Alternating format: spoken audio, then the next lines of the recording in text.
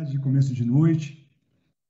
É uma grande satisfação poder estar participando dessa mesa virtual e mais uma palestra desse curso de formação continuada para os servidores da Justiça Federal, em especial os conciliadores e mediadores da SECOM, nessa parceria tão frutífera que vem sendo implementada pelo, pela Escola de Servidores e a SECOM. Eu gostaria de é, comunicar, dar notícia a todos que recentemente essa parceria ganhou mais um mais um integrante e o que nos deixa muito muito felizes e satisfeitos que é o Sejuri, Centro de Justiça Restaurativa.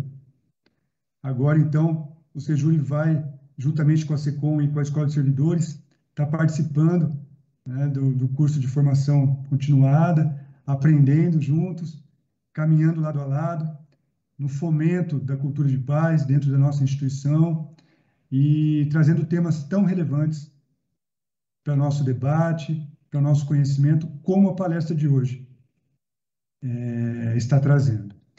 Nós vamos falar da, de comunicação não violenta, um tema muito atual, e que vem muito ao encontro né, do trabalho que vem sendo construído na nossa instituição para a implementação da cultura de paz.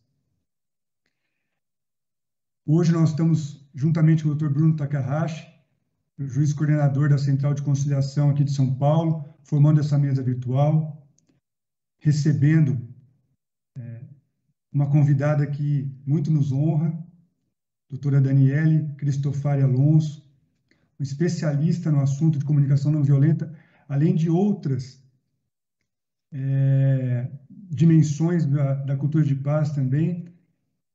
A, a doutora Daniele vem se especializando no tema da comunicação não violenta e vai poder contribuir muito conosco, com o nosso aprendizado.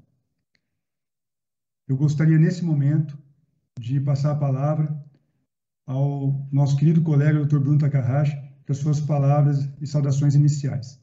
Por favor, Dr. Bruno. Obrigado, Dr. Fernando. Obrigado, doutora Daniele. É, para nós da Central de Conciliação, hoje é um dia de dupla satisfação. Né? É o primeiro evento, agora nessa parceria com o Sejúrio, Centro de Justiça Restaurativa, e uma oportunidade, mais uma vez, de ouvir a doutora Daniele. Daí a dupla satisfação. É, eu acho que essa parceria não tinha um tema melhor para ter o início formal, apesar da gente já ter o nosso início informal desde o começo, com todo o apoio que o Dr. Fernando, a doutora Kátia deram em relação a essas palestras. Mas o que a gente veio notando é que existe uma série de temas comuns, tanto para quem é, é adepto da conciliação, como também da justiça restaurativa. A gente sabe que o nosso a nossa finalidade, nosso objetivo, como já disse o Dr. Fernão, é único, é a pacificação social, é a construção de uma cultura da paz. E dentre esses temas comuns, me parece que um dos mais relevantes é o da comunicação não violenta. É até um daqueles temas que a gente fica torcendo para que um dia a gente não precise mais ensinar e nem aprender, que a gente já saiba quase de maneira inata é, como falar com uh, o olhar, né, com a, a, perspectiva da comunicação não violenta e também ouvir com essa mesma perspectiva da CNV. Acho que por isso que é uma grande satisfação. Agradeço a doutora Daniela mais uma vez, devolvo a palavra para o doutor Fernão, que agradeço pela parceria e por mais esse projeto em conjunto. Obrigado. Muito obrigado, doutor Bruno. Vou fazer alguns agradecimentos iniciais, é, em especial ao doutor Márcio Catapani, nosso diretor do foro, que vem é, incentivando e apoiando é, essa parceria e muitas outras, no sentido de implementar a cultura de paz em nossa instituição. Agradecer também a doutora Kátia Lazarano Roncada, que é a juíza coordenadora do Sejure e que gentilmente me, me permitiu estar aqui a representando né, nesse, nesse evento de hoje. A grande honra representar a doutora Kátia aqui em nome do Sejure. Também cumprimentar o Dr. Caio Moisés de Lima, né, responsável pelo, pela Escola de Servidores e que um grande, tem sido um grande incentivador desse curso e desse trabalho voltado para um, para um novo padrão de consciência dentro da nossa instituição e na formação dos servidores em geral. Agradecer a toda a equipe de servidores que colaboraram para esse evento acontecer e dar alguns avisos nesse início. Gostaria de informar que o evento está sendo gravado e transmitido ao vivo no canal da Justiça Federal de São Paulo no YouTube. Gostaria também de, de é, estar informando que perguntas e comentários são muito bem-vindos e podem ser colocados no chat.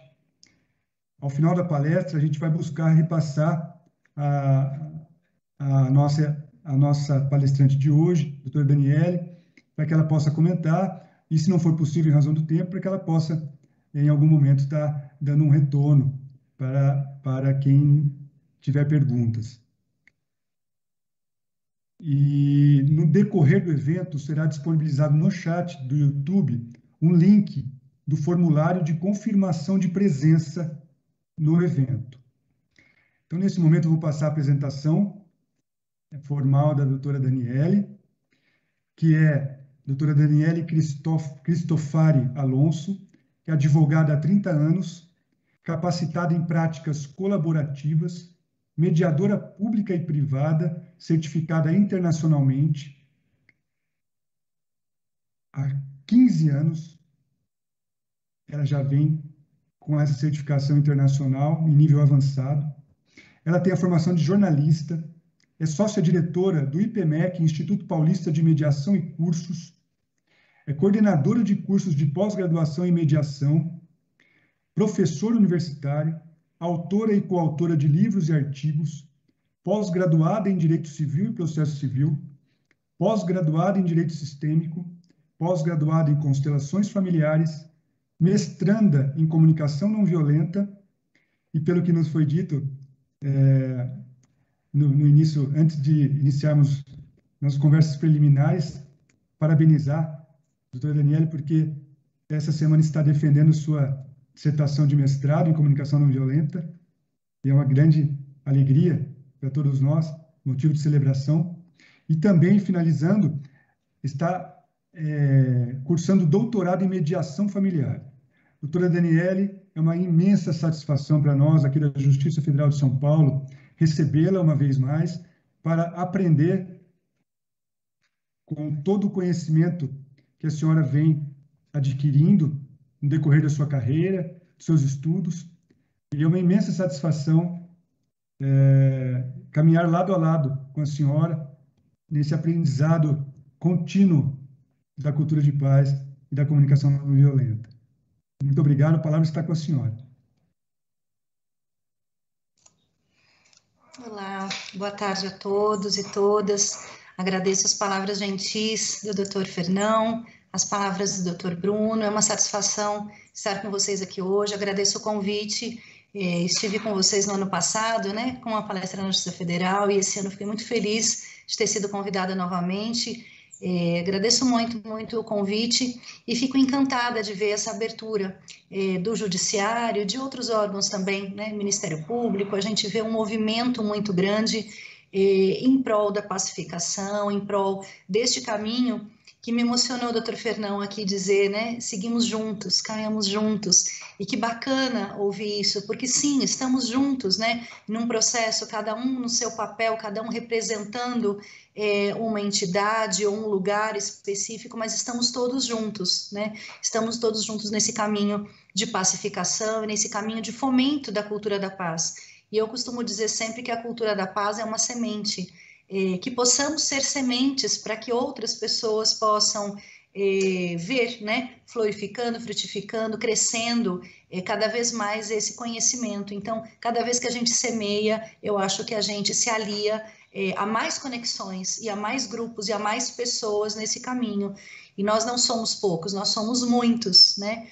Tem uma charge que eu gosto muito que fala: nós estávamos só espalhados, né? Nós não somos poucos. Nós não somos únicos, estávamos espalhados, mas nem isso estamos mais. Nós já estamos é, juntos e conectados no mesmo caminho, né? Então é uma satisfação é, estar aqui com vocês. É um tema que realmente eu comentava que com os doutores tão atual, tão importante no momento de polaridades, é, de discursos, né, é, odiosos, polarizados, onde é, se tem dificuldade de se respeitar pontos de vista contrários, onde a comunicação fica violenta pela, por uma escuta que não é ativa, por conexões que não são empáticas, por discursos que são polarizados e que não respeitam o ponto de vista contrário. Então, a comunicação não violenta, ela, ela fala sobre tudo isso, e hoje o que eu pretendo é abordar um pouquinho, então, os componentes principais da comunicação não violenta, falar um pouquinho de empatia, da autoempatia, autorresponsabilidade sobre os próprios sentimentos e decisões, escolhas né, da nossa vida, é, falar um pouquinho desta metodologia, quem criou, como foi criada, né? E então eu separei aqui alguns slides que eu vou compartilhar com vocês Porém, nesse primeiro momento, eu gostaria de eh, mostrar para vocês, porque muitos perguntam dos livros, da bibliografia básica, inclusive do próprio Marshall Rosenberg, autor desta metodologia. Vamos aqui conversar um pouquinho com ele, né? Então, muitos conhecem este livro básico, que é o Comunicação Não Violenta. Aqui tudo começou. Aqui tudo começou na década de 60 com o livro do Marshall Rosenberg. Porém, existem outros dele, A Linguagem da Paz em um mundo de conflitos, né, do próprio Marshall Rosenberg. O Marshall escreveu esse livrinho que é muito bacana, Amo Você Sendo Quem Eu Sou. Né? É um livro muito interessante também. Este livro para os pais e mães ou futuros pais e mães, Criar Filhos Compassivamente, também do Marshall Rosenberg, todos eles são do Marshall. Juntos podemos resolver esta briga, né? Aqui o doutor Fernão falou de juntos, juntos podemos nos conectar e resolver tudo, né? O surpreendente propósito da raiva, do próprio Marshall também, né? É, Vivendo a comunicação não violenta, é um livro muito bacana, é, de colocar em prática, esse é um livro prático, né? É, e superando a dor entre nós. Então, esses são os livros básicos aqui é, do Marshall Rosenberg, que criou essa metodologia. Então, depois, quem quiser, eu posso escrever de alguma forma aqui o nome dos livros, a bibliografia básica para quem se interessa por esse tema. Estes são os primeiros, para começar. Né? E eu gostaria aqui de pedir licença para compartilhar, então, o material, alguns slides que eu separei para que a gente pudesse ver juntos, né? Tá. Então, uh, queria começar eh, primeiro definindo um pouquinho comunicação, porque eu acho que a gente não pode falar de comunicação não violenta sem é, falar um pouquinho do que é o conceito de comunicação, porque já é um conceito que nos remete a uma partilha é uma palavra derivada de um termo latino, comunicare, que significa partilhar, participar algo, tornar algo comum. Então vejam que o próprio conceito em latim de comunicação já fala desse processo relacional e interacional que existe. Quando um emissor emite uma mensagem, o receptor a recebe através de um canal de comunicação, e a comunicação, pelo próprio conceito, significa partilhar algo. Eu partilho algo com alguém, por isso eu me comunico com alguém. Então, vejam o significado da partilha e dessa interação no próprio significado da expressão. É importante relembrar que a gente tem dois tipos de comunicação: comunicação verbal e a não verbal. A comunicação verbal, muitos, falam, muitos acham que é só comunicação oral, aquela que se fala, mas a comunicação escrita também faz parte da categoria da comunicação verbal. Então, ela inclui a linguística, ela inclui é, a comunicação oral e a comunicação escrita. Tudo que nós escrevemos faz parte da comunicação verbal, né? A comunicação não verbal, ela tem várias categorias. Ocorre por sinais, gestos, códigos, expressões faciais, imagens, e não só isso, também a nossa entonação, é, a nossa forma de, de, de se comunicar, a, a, o tom de voz que nós usamos, a forma como a gente decide se comunicar com alguém é uma comunicação não verbal e diz muito. Se nós falamos alto, se nós falamos baixo, se nós falamos pausadamente, se nós falamos muito rápido, tudo isso, essa, essa entonação, tom de voz, características da nossa comunicação fazem parte de uma comunicação não verbal.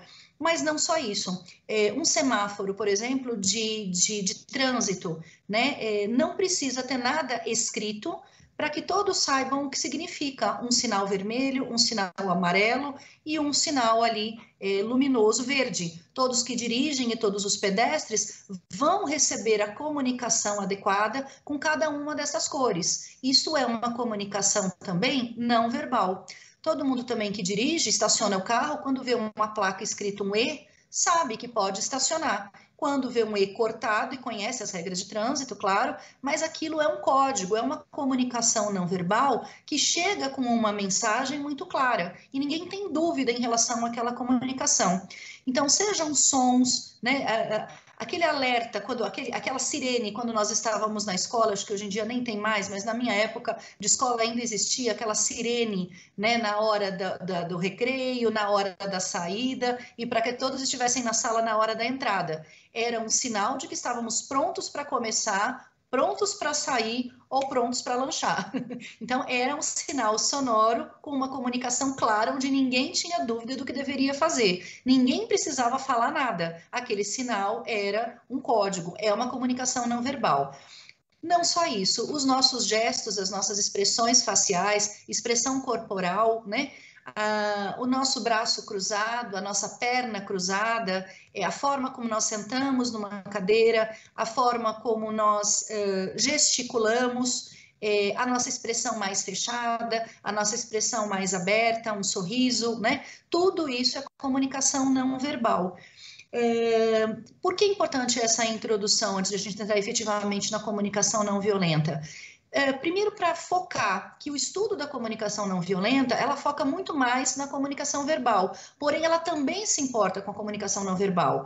Também deve haver é, é, um cuidado nosso com a nossa comunicação não verbal, é, porque de nada adianta nós termos uma boa comunicação verbal, das nossas bocas saem palavras é, sempre respeitosas, delicadas, suaves, se a nossa expressão facial é muito fechada. Né? Temos dificuldade de sorrir, não fazemos contato visual com as, com as pessoas com quem conversamos. Então, fica uma desarmonia, palavras é, doces, palavras delicadas, palavras respeitosas, mas uma expressão é, facial muito fechada. Por outro lado, também não adianta um sorriso nos lábios e quando a pessoa fala alguma coisa, ela é extremamente desrespeitosa, com uma comunicação não violenta, uma comunicação violenta. Então vejam a importância da gente harmonizar a nossa comunicação verbal com a não verbal, para que a gente possa passar a mensagem sempre da forma adequada aos nossos receptores da mensagem, né?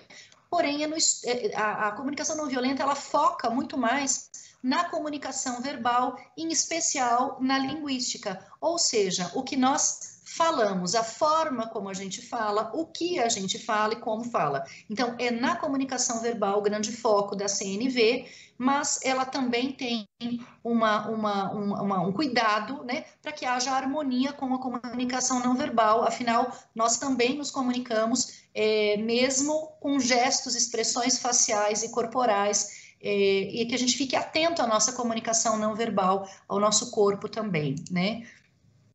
Uh, eu costumo usar muito essa, esse, uh, esse poema, é, é um trechinho de um poema do Alejandro Horodovsky, que é um poeta peruano.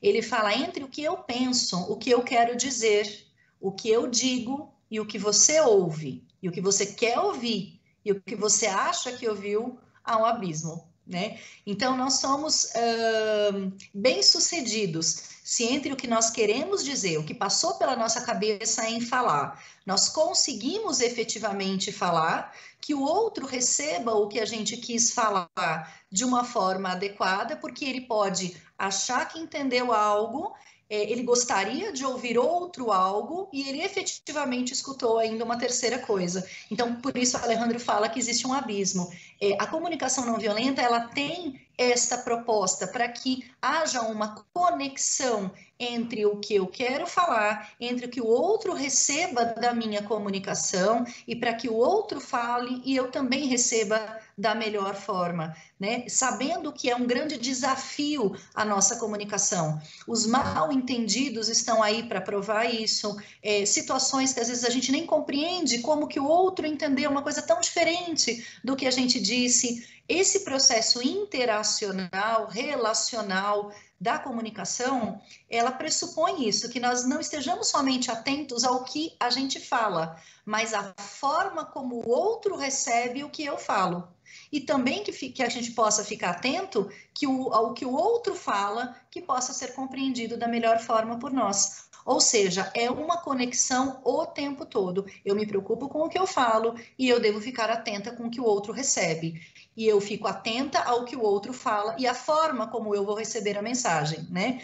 Eu coloco uma frase que eu gosto aqui muito também em cima, que conhecer é interpretar, indo em direção não só ao que se diz, mas o que se entende daquilo que se disse, né? Aqui está o grande desafio, né, da, da comunicação.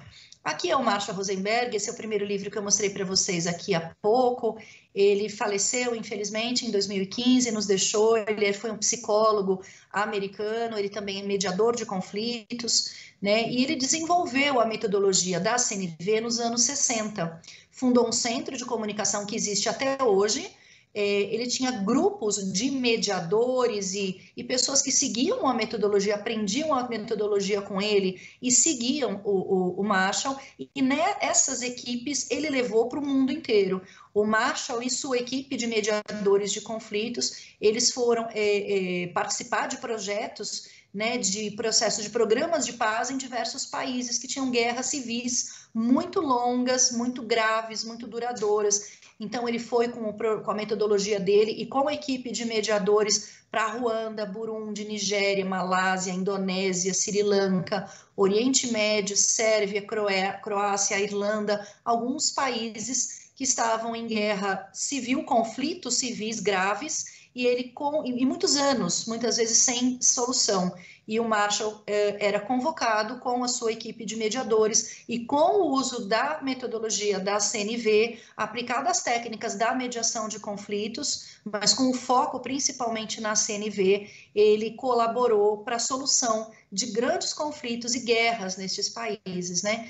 Então, é, eu, eu, eu sempre digo que a mediação e a comunicação não violenta são primas irmãs, porque é pela mediação que a comunicação não violenta, na minha opinião pessoal, tomou grande força. Afinal, o próprio Marshall era um mediador de conflitos e também um psicólogo. Então, ele utilizava essa metodologia que ele criou, tanto nos consultórios, de forma terapêutica com os próprios pacientes, quanto com as suas equipes de mediação de conflitos eh, em atuações de situações, desde situações pequenas, familiares, até escolas. Ele desenvolveu esse, essa metodologia eh, dentro de programas penitenciários. Então, os livros dele relatam muitas situações onde ele entrava em penitenciárias, inclusive com problemas muito graves nessa penitenciária de, de disciplina, né, de eram, eram penitenciárias extremamente violentas e ele ficava fazendo um trabalho ao longo de meses com os presos das penitenciárias e com sucesso, coisa que é, não se conseguia resolver e ele, com a metodologia da CNV, conseguia, né? Aqui eu trago os livros que eu mostrei há pouco para vocês, então são oito livros principais do, do Marshall, muito interessantes aqui para quem quer começar a estudar a, a comunicação não violenta. É, entrando então agora um pouquinho na metodologia da CNV, Aqui eu trago um, um, um slide para vocês bastante é, compactado com muitas, muitos componentes importantes da CNV. E aí eu vou acabar destrinchando um pouquinho é, todos eles, né, de alguma forma, quer dizer, falando, é, nem, que, nem que conceituando alguns deles, em outros eu vou me aprofundar um pouquinho mais. Então, uh, o Marshall, ele cresceu, ele é pequeno, judeu, ele cresceu numa cidade de Detroit, nos Estados Unidos, é, é era um bairro extremamente violento, com muitas disputas ali, muitas, muitos conflitos, inclusive de natureza racial. e, e ele é, sofreu na pele né, esses conflitos junto com é, colegas, amigos dele é, é, negros, e ele também sofreu essa violência por ser judeu. E ele, desde muito pequenininho, ele tinha uma grande pergunta, que ele fala em todos os livros que essa pergunta é, é que realmente foi responsável pelo desenvolvimento dessa metodologia. Ele se questionava por que algumas crianças, desde pequenas, né, é, pré-adolescentes, não crianças tão pequenas, mas a partir de 7, 8, 9 anos, mantinham um estado compassivo natural, ou seja, um estado de compaixão né, pelo seu semelhante, e outras pareciam crescer se afastando desse estado de compaixão, porque algumas crianças eram extremamente empáticas, carinhosas, respeitosas com todos os, os colegas ali, independentemente é, é, da cor, independentemente da cl classe social, né? E alguns não, eram, eram violentos, eram efetivamente violentos. Então, é, ele cresceu com essa pergunta: o que nós precisamos fazer para que a gente possa manter aquele estado compassivo que nós nascemos com ele. Nós, quando né, nascemos, ninguém é, é, é, conflituoso ou desrespeitoso sendo um bebê. Né? Então, o, o, que faz com que a gente mantenha o nosso estado compassivo natural, com o qual todos nós nascemos, e alguns se afastam um pouco ou muito ao longo dos anos, à medida que vai é, crescendo. Então, ele fala que a comunicação não violenta é uma reconexão com esse estado compassivo. Quando a gente fica atento à comunicação e utiliza a metodologia da CNV, a gente tem a possibilidade de se reconectar com esse estado compassivo é, natural com qual todos nós nascemos e com a gente mesmo. Então, estado de compaixão com os outros e o estado de compaixão com a gente mesmo. Essa reconexão é feita com o uso dessa metodologia. Então, o que é importante para a CNV? Primeiro, expressar-se com honestidade né? Sempre expressar-se de uma forma assertiva, inclusive. Muitos uh, alunos, às vezes, quando a gente capacita, a gente brinca, né? O que, que você acha da comunicação? O que, que, que é para você comunicação não violenta? E muitos falam, ah, eu acho que é falar suave, é não falar né, de uma forma mais firme, é ser cuidadoso com as palavras. E eu falo, não é bem isso, não é falar fofo, né? É pelo contrário, é uma linguagem extremamente assertiva. Ela é uma linguagem firme, ela é uma linguagem que se de uma expressão com honestidade e de forma assertiva, de uma forma muito clara. Claro que não é gritar, ofender, xingar, porém não é falar fofo, né? Como eu brinco com os alunos, não é uma linguagem com palavras no diminutivo. Uma vez um aluno falou, né? Acho que é falar a palavra né, bem suave, delicada no diminutivo. Não, não é. É uma linguagem assertiva, onde a gente se expressa com honestidade aonde a gente dá e recebe com empatia. A gente expressa o que quer com honestidade e recebe a comunicação do outro de forma empática. Além disso, a CNV fala da importância da autoempatia, para que a gente possa ter empatia com a gente mesmo. É, nós não somos perfeitos, nós erramos o tempo todo, não só na nossa comunicação, como em diversas né, em diversas coisas da nossa vida, que a gente possa ter autoempatia também com as nossas dificuldades, com as nossas falhas, que a gente possa ter vontade de acertar, mas autoempatia com as nossas dificuldades também, tá tudo certo, né? Além disso, é importante para a CNV o não julgamento, a observação de fatos sem a classificação, sem o julgamento, né?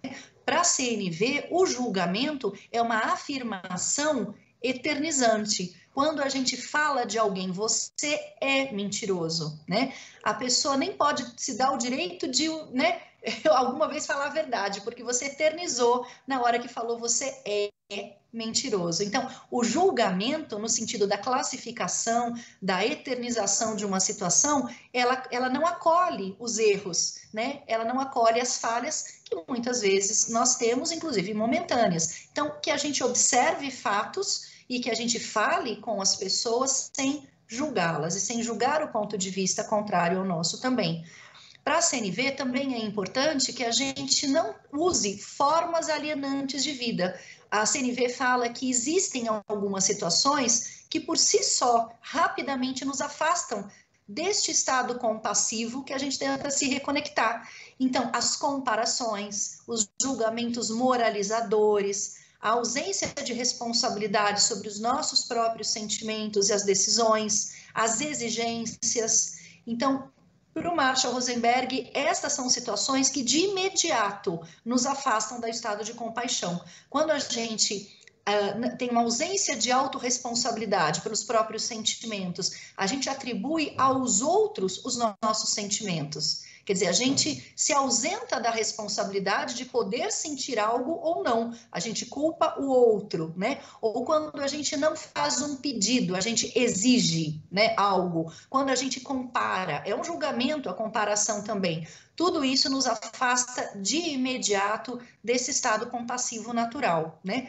Então, o que, que a CNV fala? Da importância de assumir essa autorresponsabilidade, de olhar para as próprias necessidades, entendendo o que, que efetivamente é uma necessidade nossa interna e olhando para as necessidades do outro. O Marshall tem uma frase muito famosa na CNV que ele fala que na, a raiva quando a gente está diante de uma pessoa com raiva, sempre há uma necessidade que não está sendo satisfeita, né? Então, sempre que alguém tem raiva, aquele sentimento a pessoa tem porque ela tem uma necessidade não atendida, não satisfeita. Que a gente possa, então, olhar além da raiva, olhar que necessidade poderia ser essa não atendida para que a pessoa sentisse aquilo que ela está sentindo, né?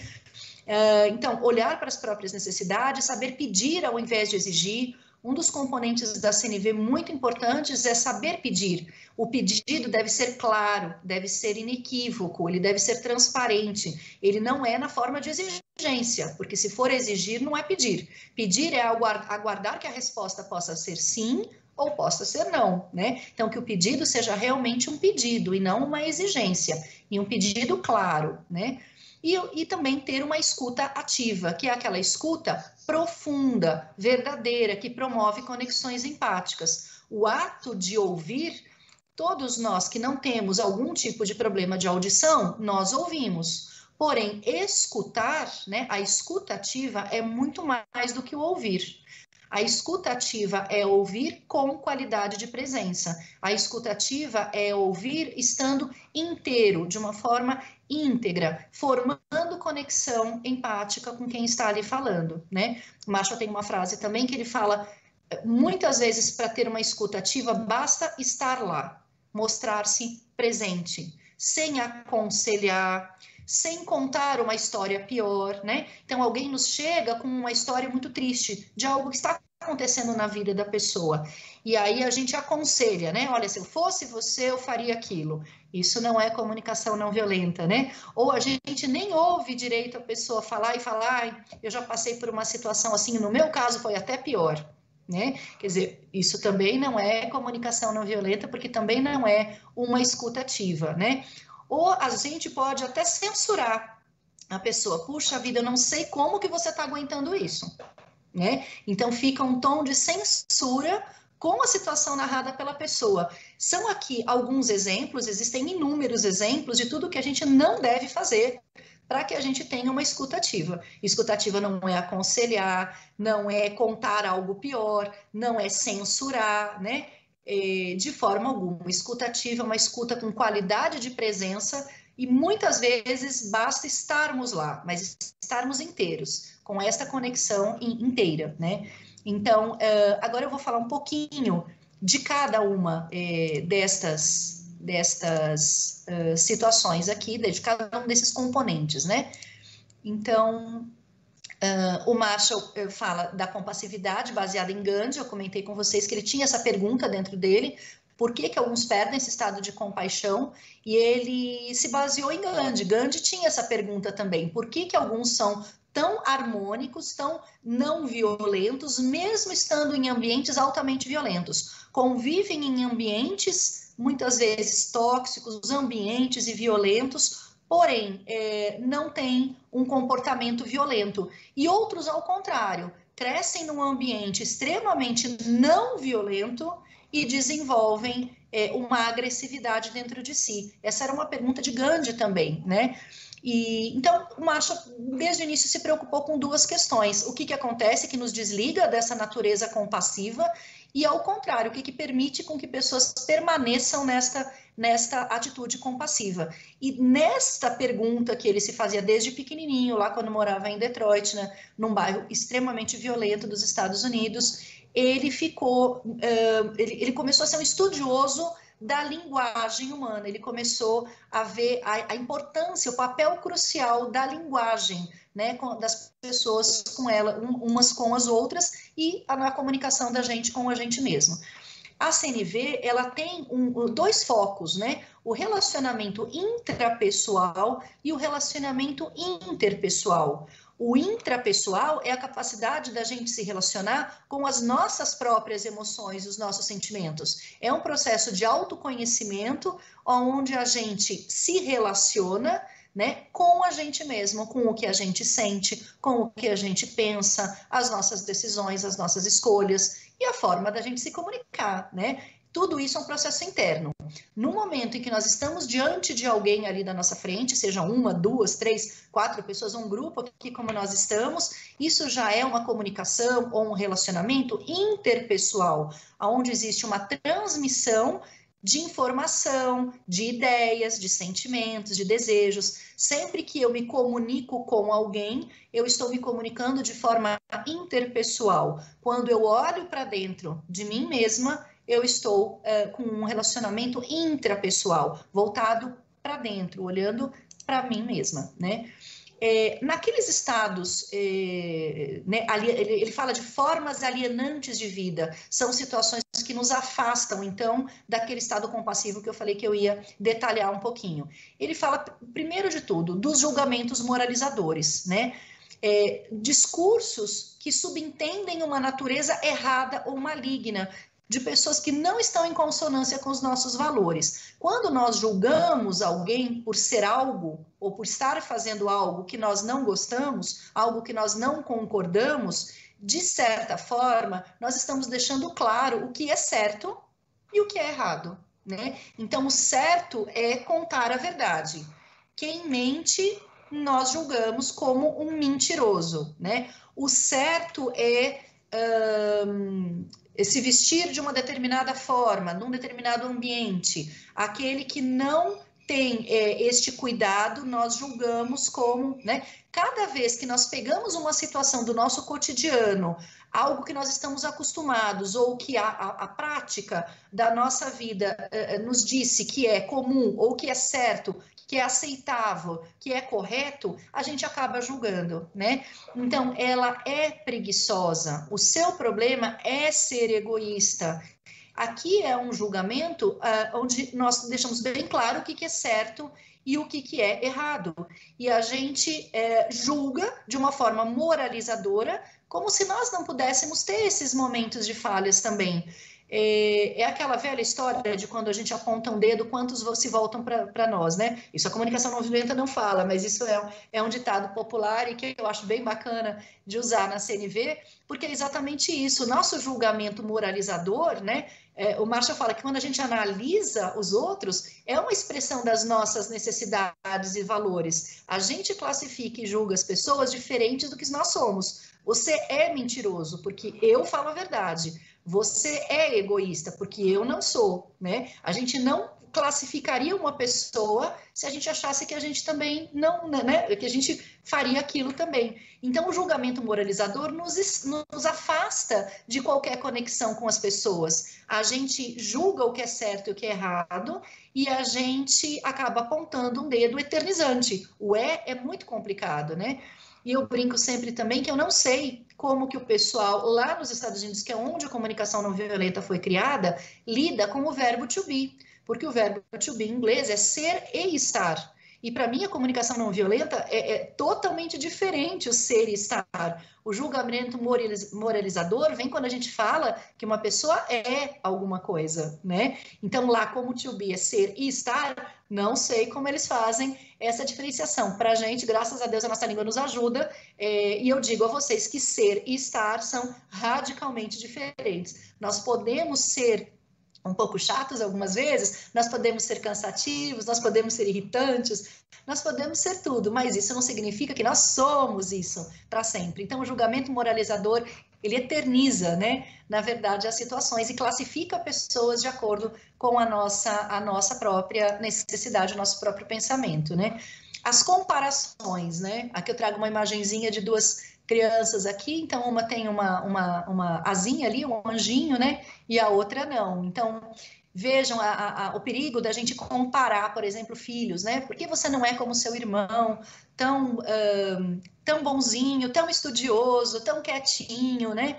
Isso, é, para a comunicação não violenta, nos afasta do nosso estado compassivo e da conexão com essas pessoas, nem que sejam pessoinhas aí os nossos filhos, né? Quando a gente faz comparações, porque as comparações são uma forma de julgamento, né? A negação da responsabilidade aqui é muito importante. Quando a gente é, não tem a responsabilidade, né, e não tem nem a consciência da responsabilidade dos nossos próprios sentimentos, a gente sempre atribui a alguém ou a algo alguma decisão nossa. Então, há uma força vaga, por exemplo, limpei meu quarto porque eu tinha que fazer, né? É, ou então há uma ordem superior. Não, eu precisei fazer isso errado porque eu recebi uma ordem, né, do, do meu chefe. É, uma pressão de um grupo. Comecei a fumar porque todos os meus amigos fumavam. Quer dizer, sempre que a gente fala esse tipo de coisa, a gente tira a responsabilidade das nossas próprias decisões atribuindo a alguém ou a algo, uma força vaga, uma pressão de um grupo, um histórico pessoal, a uma doença, a uma situação sempre externa, né? Políticas, é, regras ou regulamentos institucionais, coloquei esse exemplo aqui, tenho que fazer isso, né? Suspender você por causa das regras, né? Existe uma regra, eu tenho que seguir. Então, veja como a gente é, é, poderia assumir e falar, eu estou fazendo isso porque eu entendo né, que eu devo fazer. Quando a gente atribui uma decisão nossa é, a algo ou alguém externo, a gente se afasta do estado de compaixão, porque a gente não se conecta com pessoas quando a gente culpa as pessoas pelo que nós fazemos e pelo que nós sentimos. É, vejam, as pessoas podem ser gatilhos dos nossos sentimentos, mas não a causa efetiva do que a gente sente, né? Quando a gente fica bravo, a gente optou em ficar bravo. Uma mensagem pode chegar de uma forma muito violenta e muito agressiva. Naquele momento eu escolho, né? Eu tenho this way ou that way. Eu tenho este caminho ou aquele caminho. Eu posso é, escolher não ser agressiva igual, né? Não significa, pessoal, dar a outra face. Não é isso. Comunicação não violenta não é ser passivo, é ser compassivo, é estado de compaixão, ter empatia até pela raiva do outro né? E aí, às vezes, podem me falar, eh, Daniele, mas não é fácil, né? A gente receber uma mensagem agressiva, violenta, alguém que nos xinga, alguém que nos ofende, e naquele momento a gente lembra da autorresponsabilidade e pensa que tem a decisão ali de reagir de uma forma ou de outra. Não, não é fácil, mas não é impossível. E é um treino, é um treino. CNV é um treino, né? Diário, que nós podemos fazer na nossa vida em vários momentos. Desde o relacionamento é, em família, com o nosso marido, com a esposa, com os filhos, com os pais, no trânsito, é, com os nossos clientes, com as pessoas com quem a gente interage, é, com os nossos vizinhos, com todos. É uma prática diária. Mas o que eu digo é que sim, é, nós temos a opção de, no momento em que recebemos uma mensagem agressiva e violenta, não sermos agressivos e violentos também. Podemos ir por outro caminho, né? Recebemos aquela mensagem agressiva como um gatilho. É um gatilho para a nossa raiva também e para reagir de uma forma também violenta. Mas se a gente tem esse cuidado é, de se conscientizar de que nós somos responsáveis pelo que nós sentimos, o outro só é um gatilho, mas não a causa, né? Ele pode ser um estímulo, um estímulo, mas nunca ele vai ser a causa do que a gente vai sentir. A gente decide o que a gente quer sentir. Então, é muito importante essa autorresponsabilidade. O Marshall fala que quando a gente nega essa responsabilidade, a gente se afasta bastante também é, desta comunicação é, não violenta e desta metodologia. A exigência. Exigência também para o Marshall é uma forma é, de se desconectar com essa natureza compassiva, né? É, ele fala: comunicar nossos desejos como exigências é uma outra forma de linguagem que bloqueia a compaixão, porque uma exigência ameaça os ouvintes, explícita ou implicitamente, com culpa ou punição, se não atenderem. É uma forma de comunicação comum na nossa cultura, especialmente entre aqueles que detêm posições, às vezes, de autoridade. Nunca conseguimos forçar as pessoas a fazer nada, né? Então, é, quando a gente pede para um filho algo, ou quando a gente exige, é, é, é, é absolutamente diferente a comunicação que se faz de uma forma ou de outra, né? É, ao exigir, é, ao não concordarem que não seja atendido naquilo que a gente pede, imaginando né, um filho que vai ter uma punição é, eventualmente por não atender a uma ordem nossa, é, não nos aproxima, não nos aproxima do nosso filho, pelo contrário, nos afasta, né? Então, que a gente possa ser firme no pedido, que a gente possa ser muito claro, né? Então, é, eu sempre uso um, o mesmo exemplo aqui, porque eu acho muito claro nessa comunicação nossa do dia a dia com os nossos filhos, né? Então, é, quando a gente vê, por exemplo, um quarto totalmente, eu tenho certeza aqui que quem é mãe, quem é pai, já passou por essa situação. Aliás, no momento atual de pandemia, acredito que as coisas estejam até um pouco piores, né? Pelo tempo que todos nós ficamos em casa e às vezes a gente entra né, no, no, quarto do nosso filho e a gente acha que passou um furacão né, ali dentro. Então, é, a gente poderia optar em dizer como você é bagunceiro, eu não aguento mais ver essa bagunça todos os dias, eu quero esse quarto arrumado até hoje à noite, né? Senão amanhã a gente vai conversar. Tudo errado, né? Primeiro, você é bagunceiro, julgamento moralizador, né? Nessa hora a gente pode até falar, né? Por que, que você não é como a sua irmã? Olha o quarto da sua irmã, tão arrumadinho, né? Faz, fez a comparação, que também não pode, né? Como você é bagunceiro. Então, julgamento moralizador eternizante é, a comparação. É, se você não arrumar, amanhã a gente conversa. Não é pedido, é exigência, né? Eu não aguento mais ver esse quarto bagunçado. Quer dizer, isso não é falar de necessidade nenhuma da mãe ou do pai. Simplesmente é jogar ali para o filho aquele momento de, de, de raiva que a gente fica, às vezes, quando acaba de arrumar ou limpar um quarto, no dia seguinte está aquela confusão. Vamos trazer isso para a comunicação não violenta, né? Como que a gente pode observar um fato sem julgar, né? Filho, eu tenho observado que o seu quarto tem ficado bem bagunçado, né? Bem desorganizado. Aí a gente pode falar do nosso sentimento. Eu fico bastante triste quando eu vejo isso, quando eu vejo esse quarto. Aí podemos falar da nossa necessidade. Sabe por que, que eu fico triste, filho? Porque eu tenho necessidade de uma casa limpa e bem organizada e bem arrumada. É uma necessidade minha e aí eu posso ir para o pedido. Diante disso, você poderia colaborar e manter o seu quarto arrumado daqui para frente? Né? Então, veja, eu falei de um sentimento, eu falei de uma necessidade, eu fiz um pedido claro inequívoco que não era exigência, e eu não julguei o filho, eu observei que o quarto está bagunçado, eu não disse que ele é bagunceiro, né? Tudo a ver com a comunicação não violenta.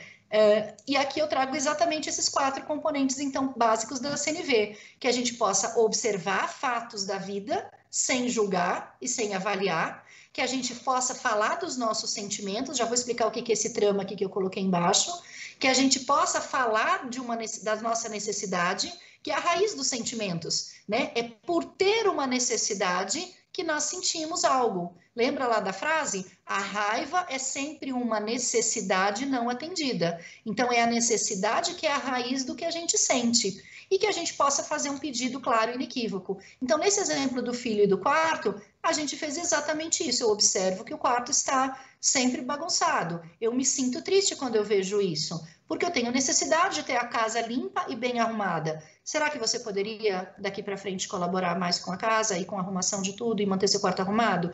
Veja, não é uma linguagem, é, é uma linguagem assertiva, é uma linguagem firme, porém sem nenhum tipo de julgamento, avaliação, onde eu falo de sentimento e necessidade e faço um pedido claro para o filho. Né? É um exemplo bem claro, mas como é diferente a comunicação violenta para a comunicação é, não violenta. Né? Aqui eu vou falar um pouquinho de cada uma destas é, situações. Na observação, a gente observa fenômenos sem acrescentar avaliação. Né? É, quando a gente combina a observação com a avaliação, a gente já não consegue com que o outro receba a mensagem de uma forma clara. Ele vai entender como crítica.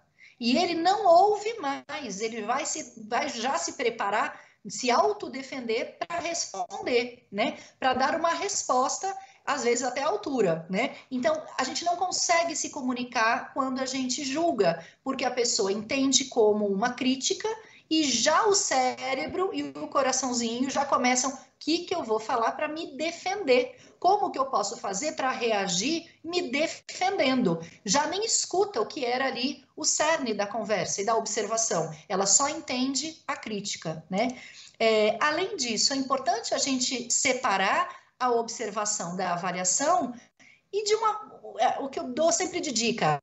Estes advérbios, sempre, nunca, tudo, nada, nenhum, eles já são cheios de avaliação e julgamento, né? Então, no exemplo lá do filho, né? Você nunca arruma seu quarto, você sempre se mostra bagunceiro, né?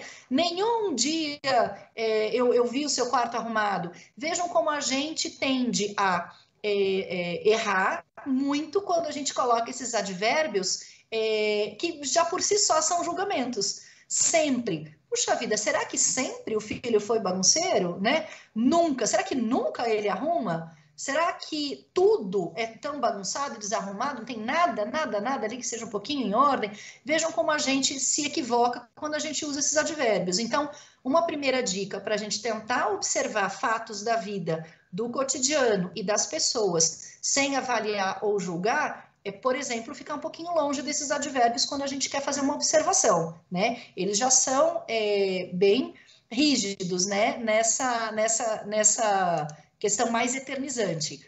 É, o que, que seria uma observação e o que, que seria uma avaliação?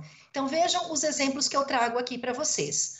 Ontem, João estava com raiva de mim sem nenhum motivo, né? É, isso seria uma observação ou uma avaliação, né? Quando eu digo João estava com raiva de mim, primeiro, eu estou julgando que o João estava com raiva. Será que o João estava com raiva? Será que ele não estava com uma dor de barriga? Será que ele não estava chateado? Será que ele não estava triste? Não estava cansado? Não estava com fome? É, é, é, é, difícil a gente olhar para uma pessoa e também é, julgar o que ela está sentindo, a não ser que ela diga, né? E ainda a frase completa, sem nenhum motivo. Quer dizer, a gente avaliou ali, observou e julgou que não tem nenhum motivo para a pessoa ter raiva. Então, aqui não é uma observação. Essa frase é, uma, é um julgamento, é uma avaliação, né? Agora, ontem à noite, Lúcia roeu as unhas enquanto assistia a TV. Aqui é a observação de um fato ocorrido. Existia uma TV, tinha a Lúcia e ontem à noite ela estava na frente da televisão roendo as unhas. É uma observação sem nenhum tipo de julgamento. Essa observação pura mesmo, né? Luiz é agressivo, totalmente julgadora e o eternizante ali não é ainda, né?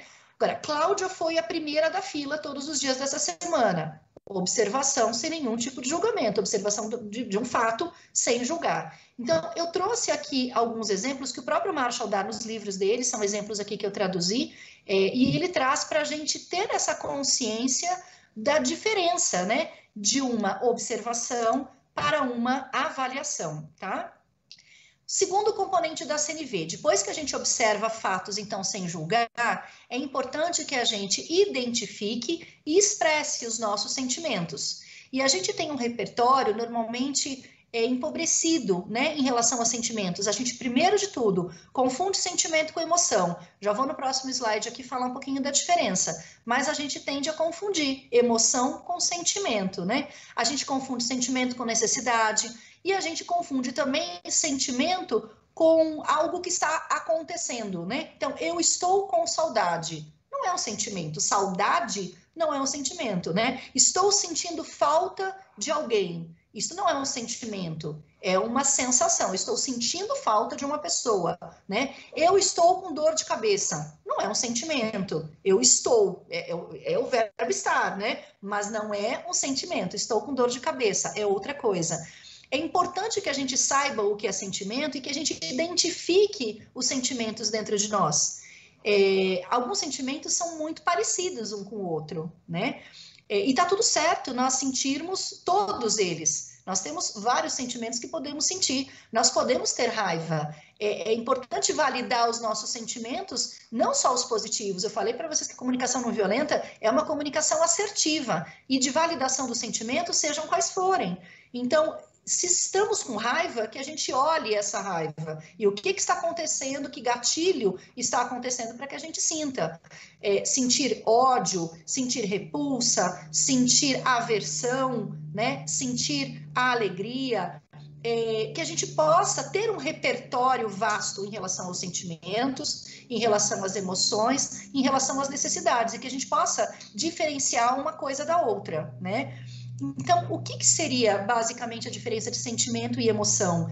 A emoção é uma reação fisiológica a um estímulo, né, ambiental. Então, o cérebro, ele é estimulado por algo que acontece e a emoção causa o sentimento. Então, o sentimento é o resultado de uma experiência emocional. Primeiro vem a emoção. Por sentirmos aquela emoção, o sentimento brota, né?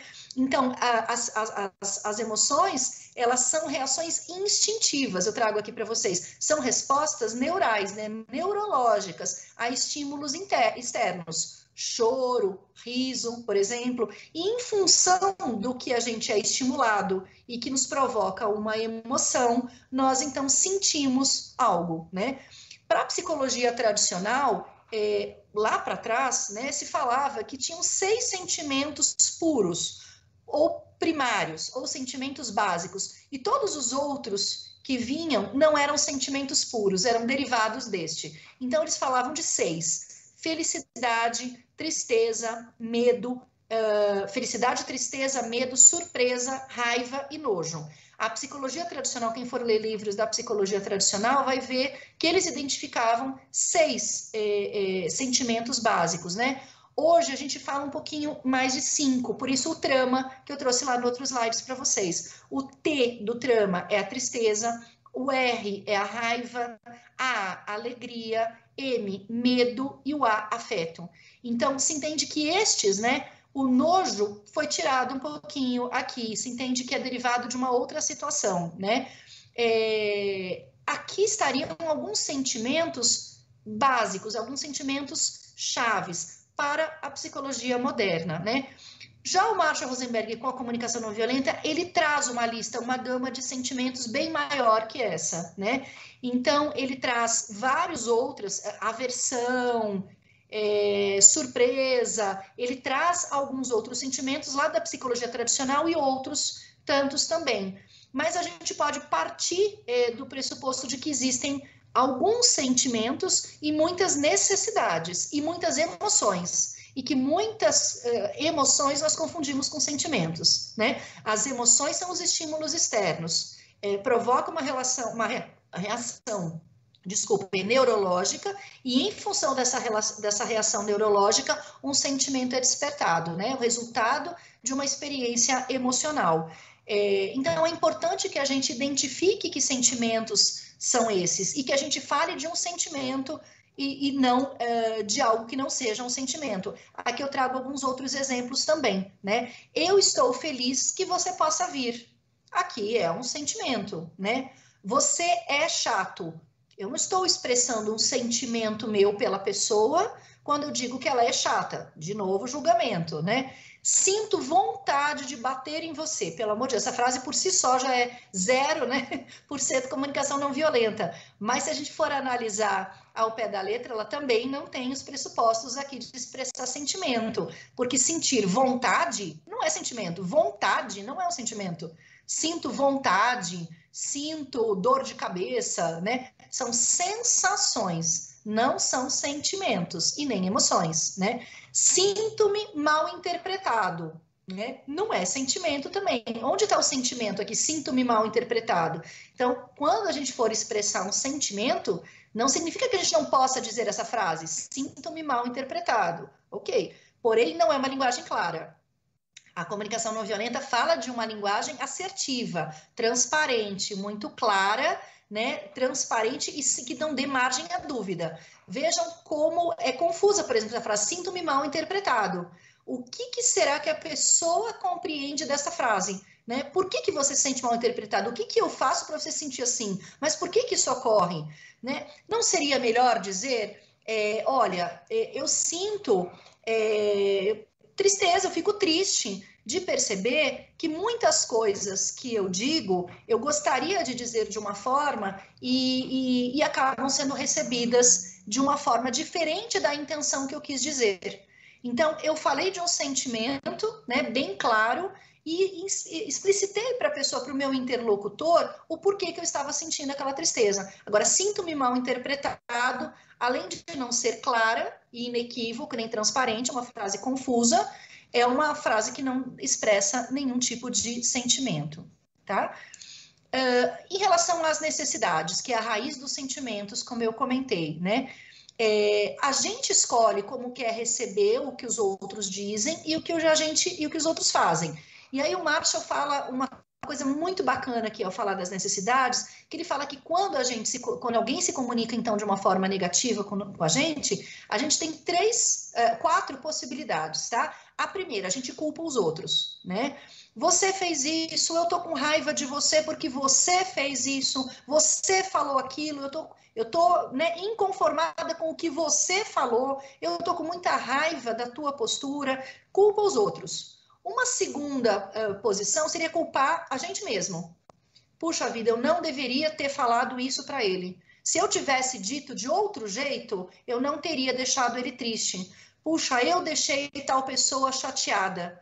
Esse é o inverso, né? A gente culpa a gente mesmo pelo sentimento do outro. Mas lembra que eu falei para vocês que é uma opção nossa o que cada um de nós sente? Então, não é só uma opção nossa, é uma opção do outro também, o sentimento do outro. Quando a gente culpa a nós mesmos, a gente tira a responsabilidade do outro pelos próprios sentimentos, pelas escolhas, pelas decisões. Cada um tem que ter a sua autorresponsabilidade. Então, nem culpar os outros e nem culpar a nós mesmos. Um terceiro caminho seria perceber os nossos próprios sentimentos e necessidades. Puxa vida, tem uma pessoa na minha frente gritando comigo, me ofendendo, me agredindo, me xingando, deixa eu olhar para dentro de mim e entender o que, que eu estou sentindo. Bom, eu estou sentindo raiva, né? Ou eu estou sentindo tristeza, né? Ou estou sentindo decepção, né? E por quê? Qual a necessidade está por trás? Eu necessito ser respeitada, eu necessito que falem comigo com respeito, eu necessito que não gritem comigo, eu necessito que não me ofendam. Então, que eu possa olhar isso, né? E aí o quarto caminho que eu falo, que é o melhor dos mundos. Aqui é, o, é, o, é, o, é quem está já hiper, mega, blaster, né? especialista de comunicação não violenta, e a gente vai para o quarto caminho, que é olhar para os sentimentos e necessidades próprios e olhar para o do outro. Olhar para os sentimentos e necessidades do outro que estão escondidas atrás daquela mensagem negativa. Então, o outro vem gritando, ofendendo, xingando, né? A gente respira, olha, eu tô triste, eu tô brava, eu tô com ódio, né? Tá tudo certo, tudo é sentimento e nós estamos identificando, né? Eu preciso, eu necessito que falem direito comigo, que falem de uma forma educada. Eu não tô tendo essa necessidade atendida. Eu já olhei para mim, agora rapidamente deixa eu olhar para o outro. O que está acontecendo com essa pessoa para ela estar tá nesse estado, né? De falta de controle emocional e aos gritos. Então, imediatamente, lembra que eu falei lá no comecinho, a gente dá e recebe com empatia a mensagem? Então, aqui é o momento de receber com empatia. Eu recebo com empatia a mensagem negativa quando eu falo para essa pessoa que está ali raivosa, gritando, xingando, ofendendo. Olha, aí vamos fazer lá observação, sentimento, necessidade, né? Eu observo que você está muito bravo, né? Eu observo que você está furioso, né? É, eu, particularmente, necessito que você fale mais baixo, que você não fale tão alto, né? Eu preciso, para ter uma boa conversa, ter uma conversa respeitosa. Eu te peço, então, que fale um pouquinho mais baixo. Porém, eu percebo que você está com bastante raiva, né? Percebo que tem algo que deve estar acontecendo que você espera de mim e que eu não estou conseguindo te atender. Você poderia me explicar melhor o que você pretende, o que você espera de mim, o que você gostaria que eu fizesse para que você não ficasse nesse estado? Porque se eu entender, compreender adequadamente o que você necessita de mim, eu posso ver se está ao meu alcance te atender ou não. Então, eu percebo que você está bravo e eu percebo que você deva ter uma necessidade em relação a mim, a uma postura minha, a uma conduta minha, a uma situação que envolve a mim. Você poderia dizer qual é a tua necessidade em relação a mim? Porque eu conhecendo e entendendo melhor qual é a tua necessidade, eu posso entender se eu posso atender ou não, se eu posso acolher a tua necessidade ou não. É fácil reagir desta forma numa situação assim? Não, mas é como eu falei, é treino e é possível. E, e, e é algo assim, eu brinco com os alunos sempre, é algo um pouco mágico. É, quando a gente conversa com alguém que está numa situação, numa, né, falando dessa forma, de uma forma raivosa, agressiva, violenta, esta devolução com empatia que olha para a necessidade não atendida do outro e, e para o sentimento do outro, né? Quando você fala, eu observo que você está com muita raiva, você está olhando para o sentimento do outro. Quando você fala, eu entendo que você tem uma necessidade que eu não estou atendendo, mas eu gostaria de entender melhor qual é. Você quer que a pessoa fale da necessidade. Então, você utilizou a CNV para você, devolveu a CNV na frase do outro parafraseando a frase do outro, recebendo com empatia e colaborando para que o outro também consiga conversar de uma forma não violenta. Porque aí ele vai falar da necessidade dele, ele vai falar do sentimento que você estimulou com que ele fale. E aí ele também, sem querer, de uma forma natural, vai estar faz, faz, é, é, é, né, exercitando essa metodologia da CNV com a nossa ajuda. Então, são quatro caminhos que a gente tem. A gente pode escolher a autorresponsabilidade, qualquer um dos quatro, né? Melhor dos mundos é aqui o quarto, onde a gente olha para a gente e olha para o outro, parafraseando a frase negativa do outro, né? Agora que eu trago alguns exemplos de necessidades também, né? Para a gente poder reconhecer o que, que é necessidade e o que não é. Então, você me irrita quando deixa documentos da empresa no chão da sala de conferências, né? Aqui, qual é a minha necessidade? Eu falei para a pessoa qual é a minha necessidade? Não. Além de tudo, eu ainda julguei. E para completar, eu ainda atribuí a ela um sentimento meu de irritação. Você me irrita fazendo isso? Não, a pessoa pode deixar tudo espalhado no chão e eu não me irritar, e eu tratar aquela situação de uma outra forma, que não seja pela escolha da, da irritação, né? É, fico com raiva quando você diz isso, porque quero respeito e ouço suas palavras como um insulto. Aqui eu estou falando de uma necessidade, eu quero respeito, eu preciso que falem comigo com respeito, né? Sinto-me frustrada quando você chega atrasado. Qual é a necessidade? Né? Sinto-me frustrada, não tem uma mensagem clara aqui para a pessoa. Então poderia ser dito: olha, quando você atrasa, eu me sinto chateada, eu me sinto frustrada, porque para mim é muito importante jantar com você. Então, cada vez que você chega atrasado, eu me sinto frustrada, porque eu preparei um jantar é, para nós dois e você não participou desse jantar e por isso eu fiquei frustrada. Veja, é outra forma de falar das necessidades de uma forma clara, tá? E último componente, o pedido. Pedido deve ser claro, inequívoco, e a gente deve pedir sempre de uma forma positiva, nunca negativa. A gente não pede o que a gente não quer, a gente pede o que a gente quer. Então, eu gostaria de pedir para você colaborar com a arrumação do seu quarto. Eu não vou pedir para que a, o, o filho não bagunce mais. O pedido nunca dá certo se ele vier com um não.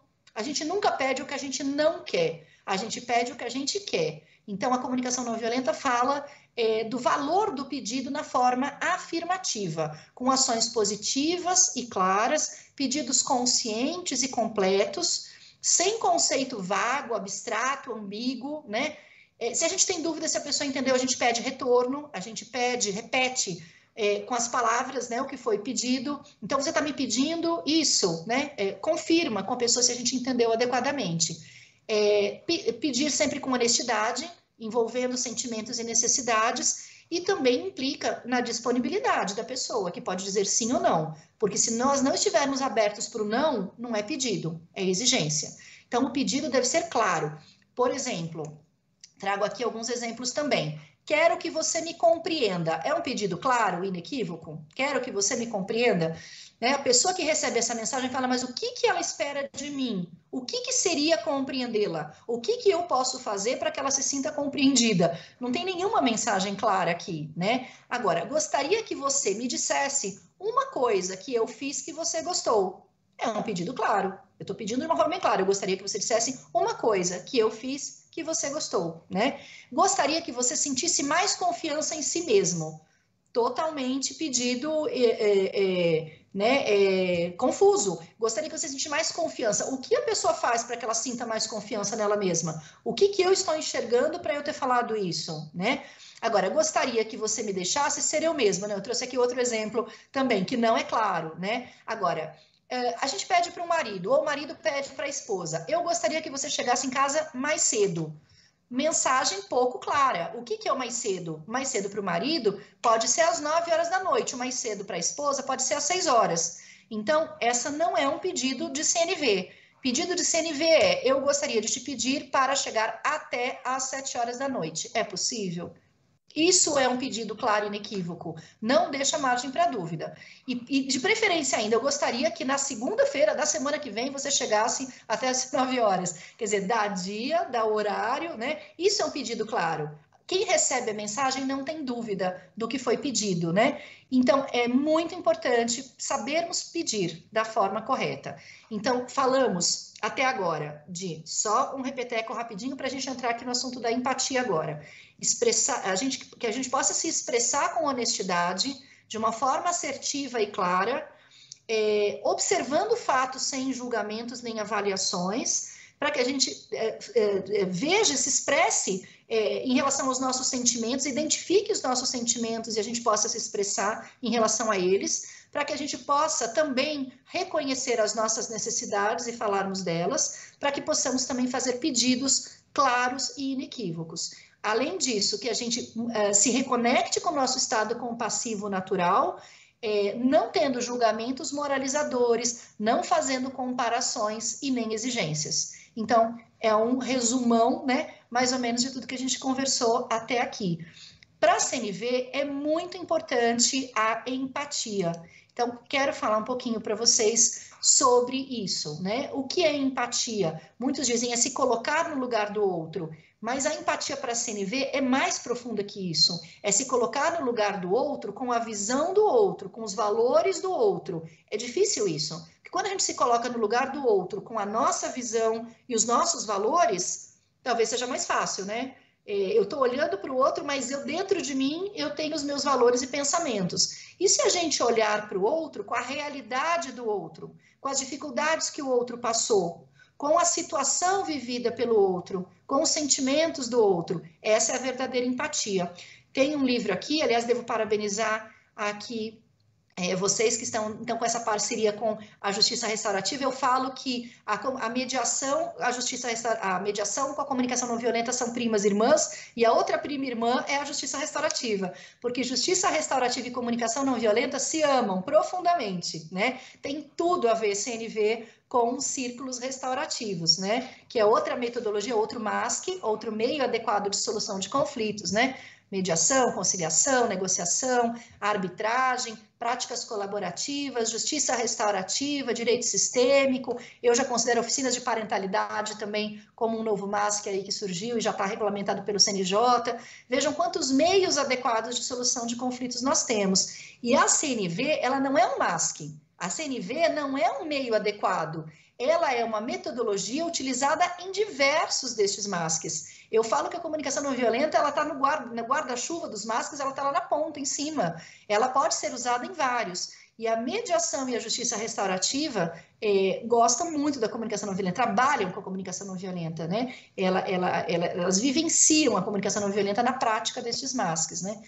Então, em relação à empatia, para a comunicação não violenta, esta compreensão vem quando a gente se conecta com o quê? Com as necessidades humanas da pessoa que a gente está tentando se conectar. Então, quando a gente se conecta com as necessidades humanas daquela pessoa, a gente entende os sentimentos dela, né? E a gente tem uma conexão empática de entender qual a necessidade que ela tem, que muitas vezes não está sendo atendida, e que sentimento está sendo gerado. Lembra que a necessidade é a raiz dos sentimentos. Então, qual o sentimento gerado é, por uma emoção, por uma reação neural, mas por uma necessidade não atendida, né? E quando a gente foca só nos sentimentos e necessidades, a gente tem uma chance muito maior de se conectar de forma empática, ou seja, de forma verdadeira com essas pessoas, né?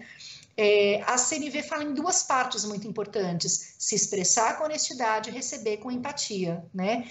É, muitas vezes eu comentei com vocês aqui no começo, é, basta a presença. Muitas vezes não faça nada, o Marshall fala, apenas esteja lá, né? Então ele fala empatia, esvaziar a mente e ouvir com todo o nosso ser. Empatia é uma compreensão respeitosa do que os outros estão vivendo, né? Então a gente fala com empatia e recebe a mensagem do outro também com empatia, parafraseando daquela forma como eu falei para vocês, né?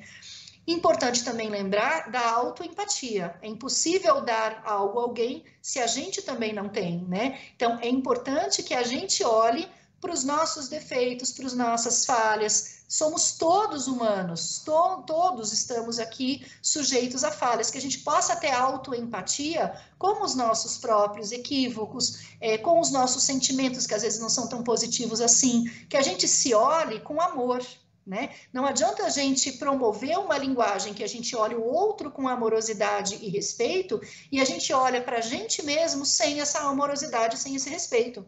Que a gente possa ter amor por nós mesmos, né? E que a gente possa acolher os nossos sentimentos e as necessidades com respeito também, né? É, a autoempatia, é, o Marshall fala, é impossível dar algo a alguém se a gente não tem com a gente mesmo, né? A escutativa que eu comentei com vocês, é, vem, escutar vem do latim auscultare, que é dirigir a atenção para o ato de ouvir. Então, por isso chama escuta, é, escuta ativa, não tem nada de passiva. É, a gente pode pensar, está apenas lá, apenas esteja presente, né? Não aconselhe, não julgue, não conte uma história pior. Então, se a gente fica mais quietinho, simplesmente presente, é uma atitude passiva, né? E aí a gente fala, não, não é. Tanto que chama ativa, escuta ativa, é uma atenção para o ato de ouvir. Quer dizer, é uma escuta absolutamente verdadeira. Ouvir com o intelecto, eu coloco aqui nesse slide, é uma coisa, ouvir com os sentidos é outra. Ouvir de uma forma íntegra, né? De uma forma inteira.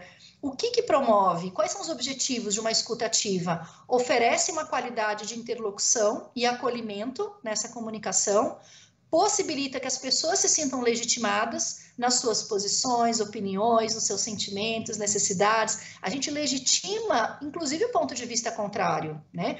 Tá aí um grande desafio da comunicação. É, é fácil a gente concordar, o, né, e respeitar quem a gente que com alguém que concorda conosco. É fácil a gente ter empatia com quem diz exatamente o que a gente é, pensa a respeito das coisas é, é difícil a gente respeitar aquele que pensa radicalmente oposto de nós. Aí é que está o desafio de exercitar é, a escutativa, a empatia e respeitar né, a, a, os pontos de vista contrários. É, a escutativa também confere equilíbrio entre dar voz e vez aos integrantes de uma conversa, né? E viabiliza uma escuta que sempre inclui o ponto de vista do outro. Quando a gente está presente, independentemente de concordarmos ou não, nós estamos respeitando o ponto de vista, é, ainda que seja contrário ao nosso, né? É, empatia, então, para o Marshall, ele traz essa frase: esvaziar a mente, ouvir com todo o nosso ser.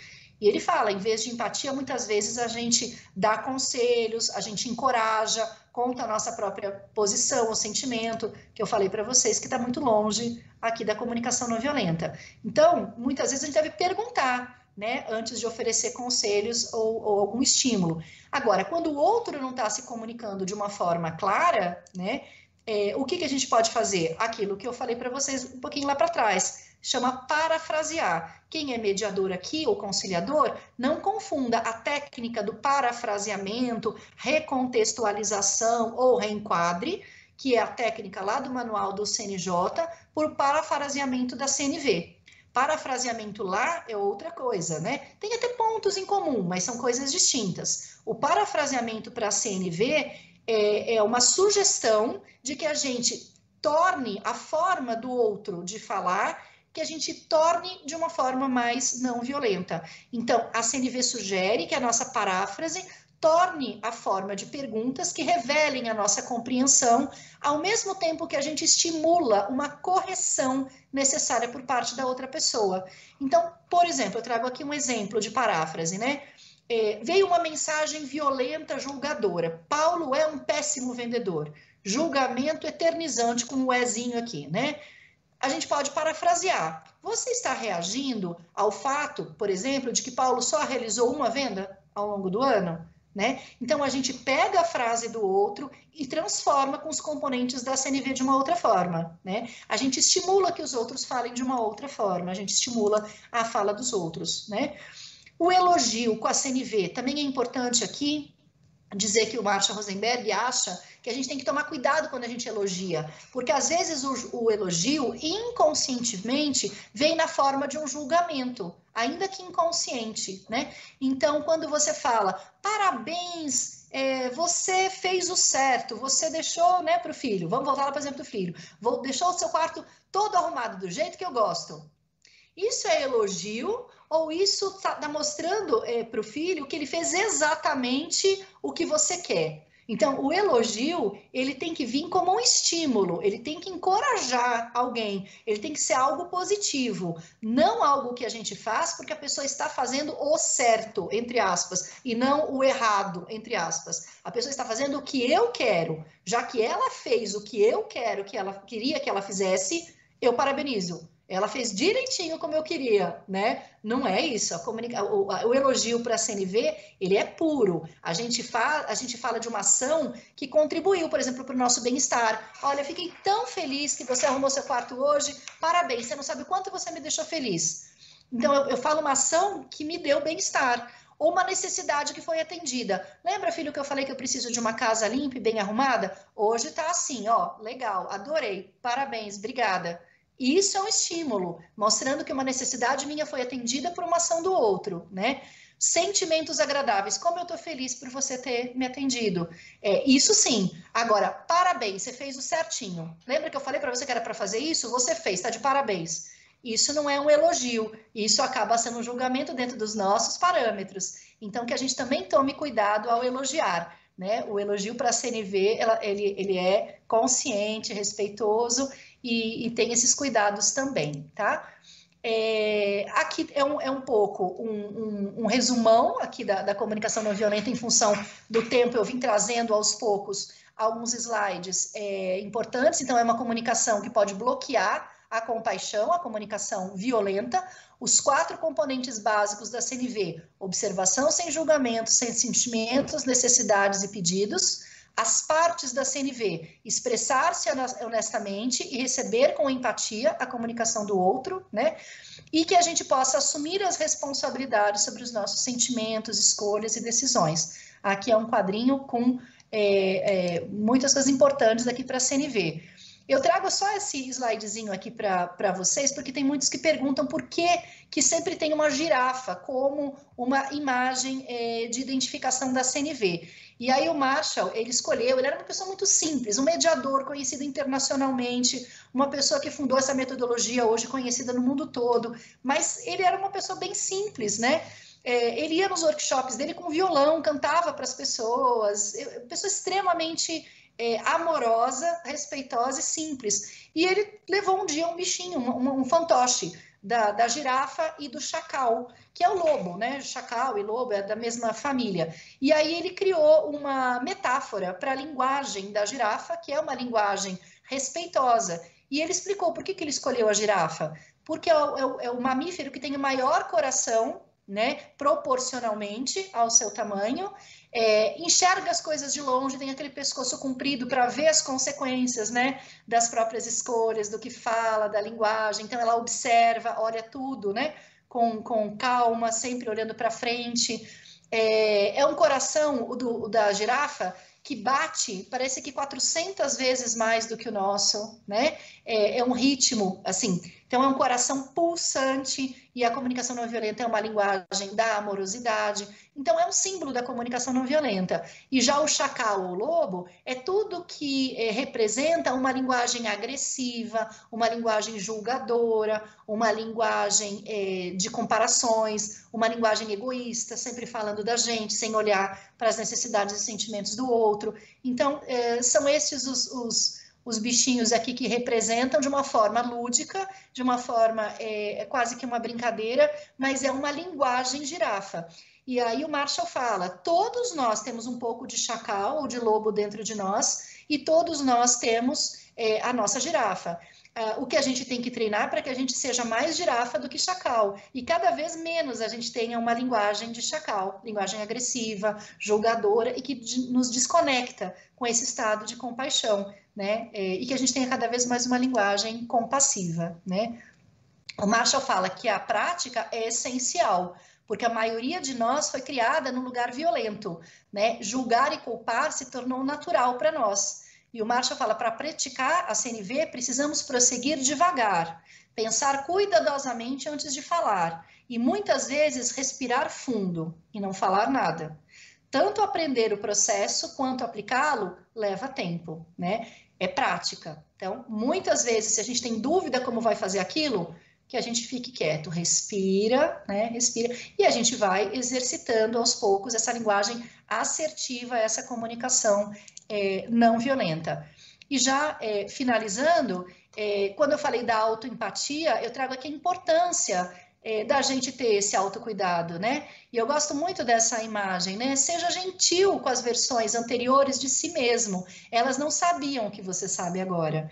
Então, que a gente possa ter empatia também pelas nossas versões anteriores, as nossas versões do passado, as nossas versões que não sabiam o que a gente sabe hoje, que não tinham a maturidade que a gente tem hoje, né? Que não conheciam tanto, que a gente receba com amorosidade essa versão antiga da gente mesmo, né? E finalizo aqui com um último slide, aonde é, eu realmente gosto muito dessa frase que fala que toda crise, né, sempre tem três elementos: uma solução, um prazo de validade e uma lição para a vida. Para mim, a comunicação não violenta, ela é uma metodologia de solução, ela é quase uma metodologia terapêutica, né? Porque ela, ela promove soluções de conflitos, sim, é, e todas as crises têm um prazo de validade. Quando a comunicação não violenta é exercitada, esse prazo de validade fica cada vez menor. Eu percebo como a gente consegue consertar as coisas utilizando a comunicação não violenta. O quanto a gente consegue resgatar relacionamentos, o quanto a gente consegue não se afastar mais das pessoas, o quanto a gente consegue se aproximar mais do nosso semelhante com a comunicação não violenta. E que a gente né, tenha uma lição para a vida é, toda, todo momento de crise a gente leva uma, uma lição. E, e é isso que eu tinha preparado para vocês, basicamente. Me pediram para encerrar às 18h30, são 18h33, então passei três minutinhos aqui. É, teria muito mais para a gente falar comunicação não violenta, a gente ficaria aqui muitas horas falando, mas eu é, tentei é, falar os pontos principais, os principais componentes aqui é, da comunicação não violenta e de uma forma que eu espero que tenha sido é, clara, né, e respeitosa e amorosa, principalmente. Então, muito obrigada. Doutora Daniele Cristofari Alonso, nós é que agradecemos pela contribuição preciosa que a senhora trouxe para nós hoje, para a nossa instituição, para a Justiça Federal de São Paulo. Nós tivemos uma média de 85 participantes né, assistindo, é, acompanhando online no, é, na nossa, nossa página do YouTube. E houve uma, uma pergunta, doutora, se os slides que a senhora trouxe para nos, nos auxiliar, se, elas, se eles serão, poderão ser disponibilizados de alguma maneira nossas, Olha, doutor Fernão, eu posso disponibilizar um conteúdo resumido desse material. Esse material a gente usa nos cursos de formação, mas eu posso preparar um conteúdo com bastante carinho, com bastante amorosidade também, o mais completo possível, com as partes chaves aqui desse slide. Posso a sim. Gente, primeiro, a gente gostaria de deixá-la muito à vontade, né, doutora? Mas a gente fica muito feliz, que é um material muito rico, que vai nos auxiliar de sobremaneira na nossa caminhada né, dentro da instituição, servidores, juízes, colaboradores externos também. Nesse nosso é, constante aprendizado, nessa caminhada ao encontro de nós mesmos, né, ao encontro da nossa essência, da nossa essência mais pura, né, para a gente poder aprender a falar a linguagem do coração, como Marshall Rosenberg nos ensina, e a senhora também vem nos ensinando, vem disseminando né, essa metodologia, e e esses ensinos que são muito profundos. Quando a gente se depara com uma aula, uma aula como a de hoje, a gente percebe o quanto de violência ainda existe dentro de nós. O quão violento nós ainda somos nas, nos nossos pensamentos, que começa ali nos pensamentos, né? na, na questão anímica. Né? E dos pensamentos, esses pensamentos podem gerar sentimentos, podem gerar intenções e podem gerar é, atitudes no mundo, no mundo fenomênico, né? podem, podem ser responsáveis por ações. E desde o pensamento até as ações, esse processo todo é nossa inteira responsabilidade. Então, está, está no nosso domínio o controle e as escolhas do que nós queremos fazer, qual a contribuição que nós queremos dar para o mundo, para o mundo anímico, né, intrapessoal e também nas nossas relações interpessoais. É, nós queremos é, agradecer, em nome da direção do Foro, em nome da Escola de Servidores, em nome da, da, da, da SECOM e do, do Sejuri, e convidá-la a ser nossa parceira, doutora Daniele. Nós temos muitas frentes de trabalho, é, temos muito aprendizado para colocar em prática e temos muita boa intenção de servirmos a essa causa do coração, né? a cultura de paz e a comunicação não violenta. Ela, ela precisa fazer parte do nosso dia a dia, das relações entre as equipes de servidores, entre os servidores, dentro da, da, do, da, do modelo de hierarquia que vigora né, nas instituições, então, principalmente no Poder Judiciário, entre juízes, juízes e servidores. E precisamos também trazer né, um, um conceito de um diálogo mais qualificado, mais compassivo, e porque não é, não é simples nós transformarmos um modelo tradicional onde o juiz é o julgador e os servidores são né, a extensão dos juízes, né, a equipe dos juízes. Então, as unidades judiciárias, o que nós fazemos todos os dias é julgar. Então, a gente, para a gente poder sair dessa esfera de consciência que, nos, que nós mesmos nos colocamos, né, de forma coletiva e individual, nós precisamos estar firmes nessa caminhada juntos, né, dispostos a se transformar internamente e trazer para nossa instituição essa transformação de forma é, interpessoal e coletiva. Então, a, a, contribuição da senhora hoje é, é de muita valia, é, é, inestimável, vamos dizer assim. Eu queria também trazer é, os elogios, alguns elogios, que foram muitos, doutora Daniele. Pedir licença para trazer alguns elogios é, que constam do chat dos nossos, que, dos nossos colegas que estão acompanhando a palestra. Então, a Débora Linhares é, mencionou que pessoa incrível, compartilhe a bibliografia conosco, por gentileza, doutora. E a, se a senhora puder, vai ser uma grande alegria. Carla Rodrigues, que tema maravilhoso. Angélica Samogin, concordo, tema maravilhoso. Quanto mais ouço sobre esse tema, mais me apaixono e mais esperança eu sinto. Compact... A Angélica também dizendo que compactua na mesma opinião. Não é fácil praticar, a cada dia compreendo melhor que é possível e, e muitos outros. Depois a gente vai a gente vai estar encaminhando para a senhora, doutora. É muito importante porque fortalece a nossa caminhada. A senhora recebendo né, um, um feedback sincero dos nossos colegas que estão acompanhando a palestra. Eu quero também agradecer a toda a equipe de, de servidores da, do núcleo da Escola de Servidores, da SECOM, que colaboraram para que esse evento pudesse acontecer Cumprimentar todas as pessoas da Gisele, Norma, Aline, Sandra, Edson, Elaine e tantos outros. E, e agora eu gostaria de passar a palavra para o nosso estimado é, coordenador da SECOM, juiz federal Bruno Takahashi, que é o grande responsável, juntamente com o Dr. Caio Moisés, por esse curso de formação continuada.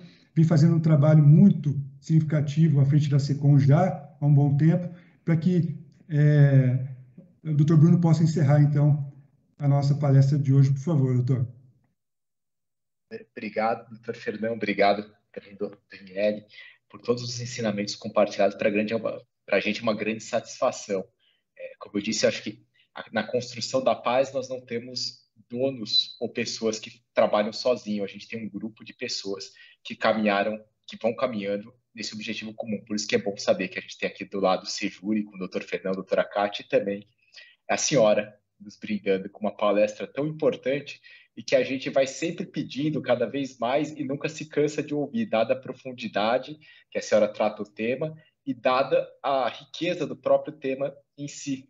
Eu acho que a gente vai aprendendo nesses tempos que a nossa função é julgar sim, mas julgar os casos e não as pessoas. Então, para a gente é uma satisfação. Muito obrigada e boa, boa noite.